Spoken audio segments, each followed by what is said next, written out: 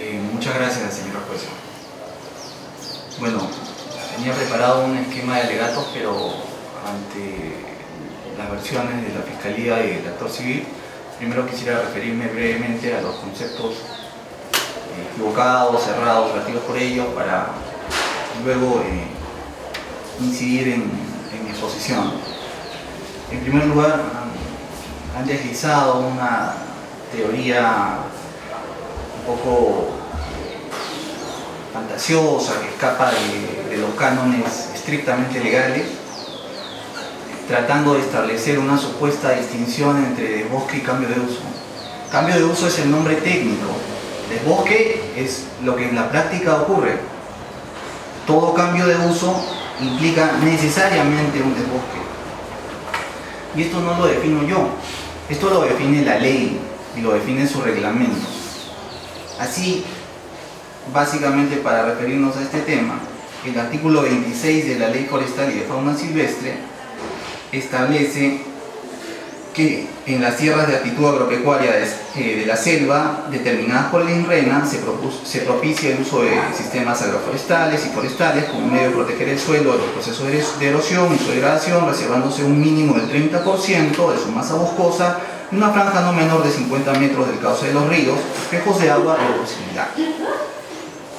Ahí viene la parte más importante, dice, el cambio de uso debe ser autorizado por el INRENA, basado en un expediente, en un expediente técnico que tiene, eh, que obra en autos, que tienen cerca de 200 folios, el cual en sus partes pertinentes nos hemos permitido leer en, durante el juicio. El cambio de uso debe ser autorizado por el INRENA basado en un expediente técnico que garantice la sostenibilidad del ecosistema, de acuerdo a lo establecido en el reglamento. Bueno, ¿y qué dice el reglamento? El reglamento dice, el artículo 287 señala que no puede efectuarse la tala de árboles, el cambio de uso de tierra con cobertura boscosa sin la autorización previa del INRENA. Efectivamente, no se puede realizar tala ni cambio de uso. ¿Qué significa cambio de uso? Cambio de uso es darle un uso diferente a un territorio determinado. Si antes tenía un uso de bosque, luego del, luego del cambio de uso va a tener otro uso. Tendrá un uso agrícola o el uso que haya determinado en este caso el INRENA. Podría ser para labores o actividades ganaderas también. Señala la norma, el artículo 287.1, no puede efectuarse la tala de árboles y el cambio de uso de las tierras con cobertura boscosa sin la autorización previa de INRENA. Pregunto, ¿en el expediente obra la autorización de cambio de uso de INRENA? Pues la respuesta de suyo consta en autos. Está la autorización número 022 expedida por INRENA en la que consta la autorización de cambio de uso respecto de la integridad del predio, basada en un expediente técnico, señora juez, que ni siquiera se han atrevido a mencionar eh, el Ministerio Público o el representante del actor civil. Un expediente técnico que señala claramente que la evaluación del área objeto de cambio de uso es respecto de su integridad respecto de las 3.000 hectáreas. Agrega esta norma, la solicitud debe estar sustentada en el respectivo expediente técnico elaborado de acuerdo a los términos de referencia elaborados por el INRENA. Efectivamente, el expediente técnico no es un expediente que hayan elaborado, no haya, que haya elaborado la empresa Palmas del Oriente a su antojo. Lo ha elaborado de acuerdo a los requerimientos establecidos por la autoridad competente. Y ha pasado los filtros de INRENA San Martín y además del órgano de gestión ambiental transsectorial de INRENA o GATEIN en su área de asuntos ambientales. Dicho expediente debe incluir la evaluación del impacto ambiental, por supuesto, consta en el expediente la evaluación de los impactos que genera el cambio de uso. Eh, dicho expediente debe incluir una evaluación del impacto ambiental cuyos requisitos aprobados por el INRENA tienen en consideración el área, las características del suelo, fuentes de recursos hídricos y la diversidad biológica, entre otros. Todos ellos han sido tomados en cuenta, señora jueza. Eh, Los titulares de las referidas áreas deben cumplir con los siguientes requisitos. Dejar un mínimo del total del 30% con cobertura arbórea, mantener la cobertura arbórea, pagar los derechos de, en estas zonas, pagar los derechos de bosque establecidos. Se ha cumplido. En auto se encuentra acreditado que la empresa ha dado cumplimiento a todas sus obligaciones. Es más, hemos señalado que nuestra representada no tiene ninguna sanción administrativa, llámese multa u otra, respecto al, supuesto incumplimiento de eh, sus obligaciones. Porque naturalmente, doctora, este es un delito que tiene necesariamente que recurrir a una norma administrativa. Este es un tema de ley penal en blanco. ¿Por qué? Porque el tipo no lo define exclusivamente el Código Penal, sino dice aquel que realice eh, quemas, talas, sin autorización. Entonces, para referirnos a la autorización tenemos que recurrir necesariamente a la Ley Forestal y de Fauna Silvestre en sus artículos 26 y 287. La pregunta clave es, ¿la empresa contaba con autorización? Por supuesto, está en auto. Bueno, habiendo aclarado esta suerte de teoría eh, que han tratado de, establecer en, este, en esta audiencia eh, la representante del Ministerio Público y el abogado defensor del actor civil, vamos a, referirnos a nuestra exposición. En primer lugar, señora eh, juez, en autos, en el juicio oral, se han actuado las pruebas ofrecidas por la Fiscalía, que supuestamente estas pruebas acreditan dos cosas. Primero, según su teoría, acreditarían la comisión del ilícito penal y en segundo lugar, acreditarían la responsabilidad penal de mis patrocinados. Eh, vamos a hacer una breve referencia a cada una de estas pruebas para sustentar el por qué las mismas no acreditan ni la comisión del ilícito penal y menos la responsabilidad de, mis patrocinados. Eh, los documentos ofrecidos por la parte acusadora en, juicio, porque recuérdese que el actor civil no ha ofrecido medio probatorio, son el acta de inspección fiscal de fecha 15 de enero del 2010. ¿Qué dice esa acta? No dice absolutamente nada. Se basa en meras declaraciones subjetivas de algunos eh, pobladores de la zona que ni siquiera son identificados, en, las que el Ministerio Público eh, o la representante del Ministerio Público les hace preguntas genéricas, de modo que esta acta, eh, el contenido de esta acta no acredita de ninguna manera eh, la ilicitud de los hechos propuestos en la causa. La ilicitud penal. Tampoco administrativa, bueno, menos penal.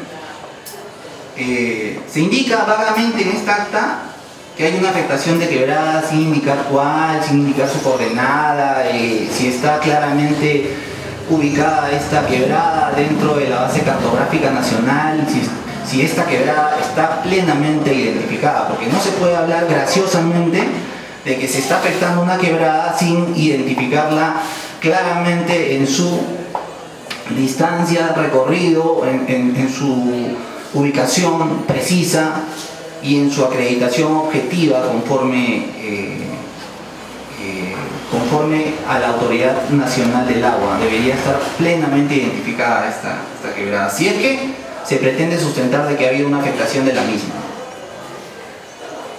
En auto no existe ningún informe de la Autoridad Nacional del Agua que señale que ha habido una afectación de quebradas. Ninguna. Luego, em, se ofrece como medio probatorio el acta del 10 de agosto del 2010. Bueno, ¿qué, indica esa, esa acta? Para comenzar, solo aparecen dos coordenadas en esa acta del 10 de agosto. Únicamente dos coordenadas. estas dos coordenadas no indican, no se indican el acta al menos, qué representa cada coordenada, cada punto. La no se sustenta con base objetiva, con base documental, de qué es lo que representa cada coordenada. Igualmente hay una mera declaración, pero en, en términos objetivos el acta no indica ni prueba nada. Se otorga un plazo de 15 días para que la Dirección Regional de Agricultura presente un informe. Y, y básicamente el informe es el documento al cual han hecho referencia tanto la representante del Ministerio Público como el abogado del actor civil. Pero nos vamos a referirnos a este informe. Para comenzar, en la última diligencia se ha dado la declaración, eh, el sustento del informe por parte del perito, el señor Mendo, en el que ha señalado que los datos que han servido para la elaboración del mismo no figuran en ningún acta. Señor, pero se le preguntó, pero a usted se le pidió participar en la diligencia del 10 de agosto. ¿Participó? Sí, participé. Los datos que han servido para la elaboración del informe, que se le encarga en dicha acta, ¿han servido para la elaboración de ese informe? No, esas son otras coordenadas. Bueno, desde ese punto de vista, señora juez, evidentemente no existe ninguna objetividad en la elaboración de dicho informe. Ninguna. Este informe no guarda correspondencia, como, repetimos, en la data consignada en el acta del 10 de agosto de 2010. Por lo demás, se señalan generalidades varias, que el predio está ubicado en el bosque de producción permanente de San Martín. Falso, no ha logrado acreditar ello. Es más, como le comentamos, ningún predio adjudica el Estado, el Estado peruano, si forma parte de sus áreas eh, de protección, llámese bosques naturales, eh, bosques de producción permanente, áreas naturales protegidas u, u otros tipos de bosques protegidos. Luego han señalado que existe incompatibilidad con la zonificación económica ecológica. Absolutamente falso. Esta norma eh, es aplicable a partir del, del año 2010, de julio del 2010, de modo que sus efectos no pueden ser retroactivos. Independientemente de ello, eh, nuestro proyecto en modo alguno es incompatible con la zonificación económica ecológica. Finalmente, este tema es irrelevante para efectos de dilucidar si se ha cometido o no algún ilícito penal en el presente caso. Hemos eh, hemos presenciado además en la diligencia anterior como el señor Mundo al momento de sustentar este informe eh, señala señala eh, un poco ¿sí? señala graciosamente que um, si bien ha tenido a la vista y a la mano el expediente técnico de cambio de uso para la, elaboración de este informe, no ha tomado en cuenta documentos importantísimos para la elaboración del mismo, llámense los pagos como consecuencia, eh, los pagos establecidos en la autorización de cambio de uso, los informes de avance sobre el, cambio de uso y eh, el propio informe de, de, INRENA en donde expresa su conformidad con los avances que tenía la empresa respecto de sus actividades de cambio de uso. Lo que denota que ha habido ahí eh, una un documento que se ha elaborado básicamente sobre subjetividades de estos eh, señores, de los señores Mendo y de las otras dos personas que elaboraron este informe técnico 120. Bueno, luego voy a, referirme a la supuesta autoría inmediata que se haría en el presente caso, porque em, la representante del Ministerio Público ha señalado que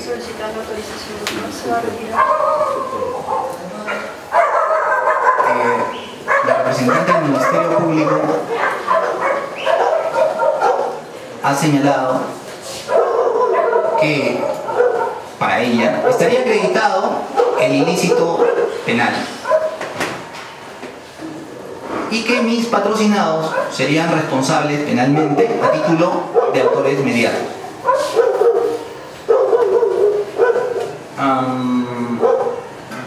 bueno, sobre la autoría inmediata, y antes hago un paréntesis, eh, entre los medios probatorios ofrecidos por el Ministerio Público no existe ningún otro documento adicional, porque las declaraciones de mis patrocinados donde se declaran inocentes no pueden ser tomados como medios probatorios eh, a favor del, Ministerio Público, naturalmente, mis patrocinados se han declarado inocentes de la comisión del ilícito que se les imputa. Bueno, dicho lo anterior, el Ministerio Público en la presente causa, señora juez,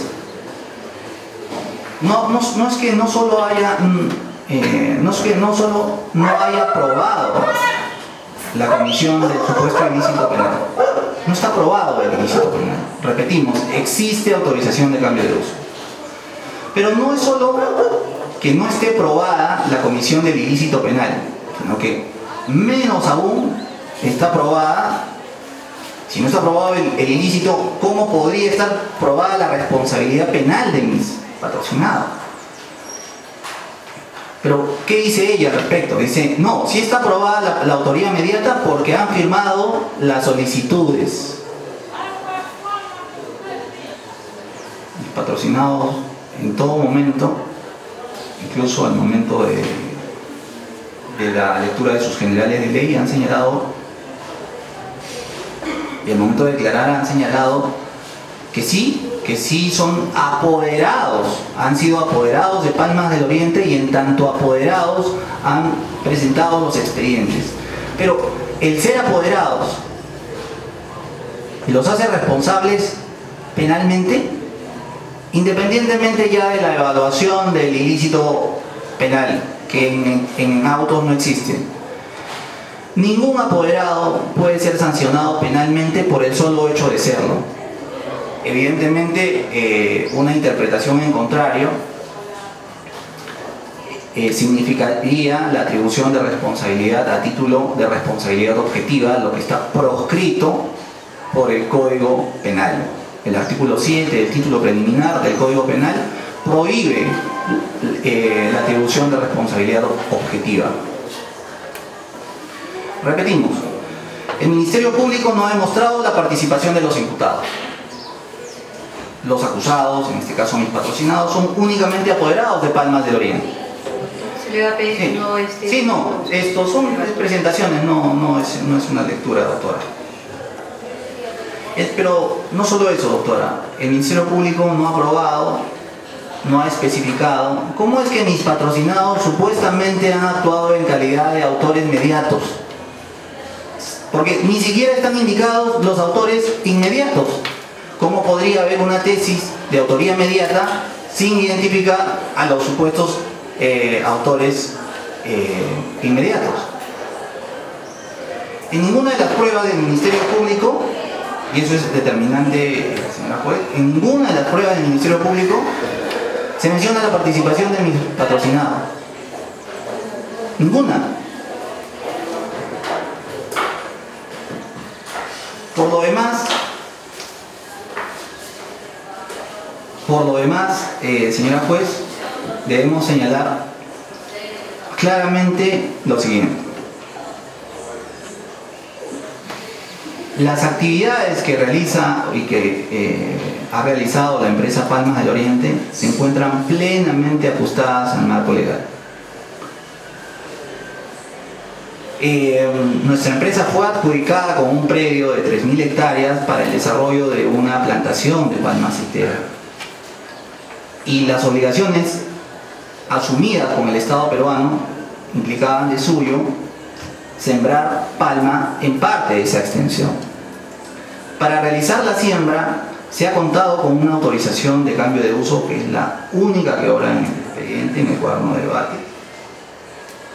Esta, esta autorización de cambio de uso ha sido respetada en todos sus términos y no existe ninguna sanción administrativa que le haya sido impuesta a nuestra representada.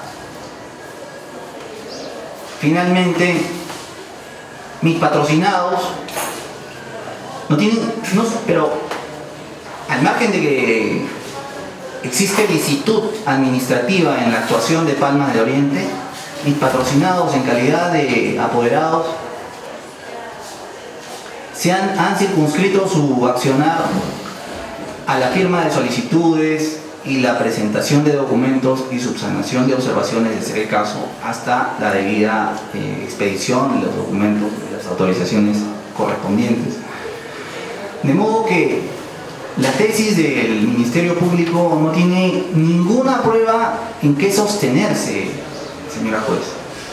Nosotros, por nuestra parte, sí hemos ofrecido documentos objetivos que demuestran la licitud de nuestras actividades. ¿Cuáles son? La sentencia del Tribunal Constitucional, en donde claramente se establece que nuestra empresa no ha afectado al medio ambiente. Por lo demás, tenemos nuestro expediente de cambio de uso que ha sustentado el, el, cambio de uso y las actividades de desbosque al interior del predio. Tenemos la opinión técnica 26308 INRENA OGATEIN UGAT que consiste en eh, la opinión favorable del área de asuntos ambientales del, del, del INRENA para la procedencia y la autorización del cambio de uso. Tenemos la autorización propiamente dicha, la autorización de cambio de uso número 22-SAM-A-CAU guion A, guion 003, guion 08. Final, finalmente tenemos eh, la resolución que aprueba el estudio de impacto ambiental, los comprobantes de pago para la autorización de cambio de uso, los comprobantes de pago, señora juez, eh, suman el monto total consignado en la autorización número 022. Íntegramente en la autorización 022, me voy a permitir eh, señalar el monto, se establece que el titular debe cumplir con pagar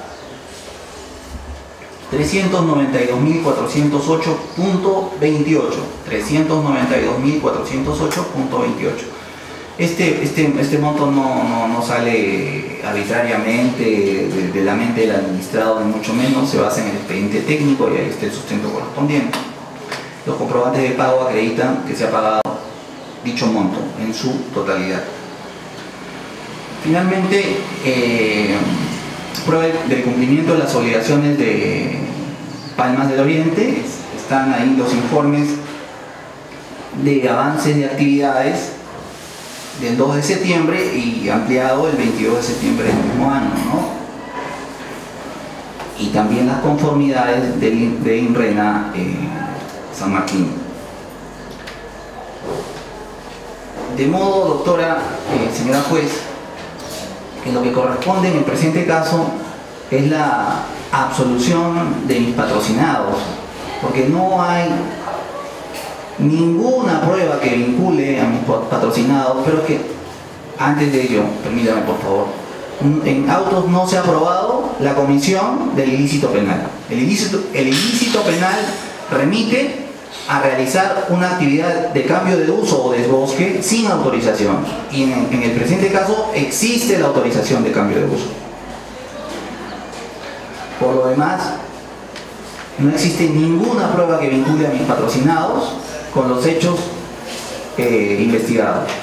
De modo que reiteramos nuestra solicitud de absolución de los señores Héctor Dongo Martínez y Carlos Marcos Castro.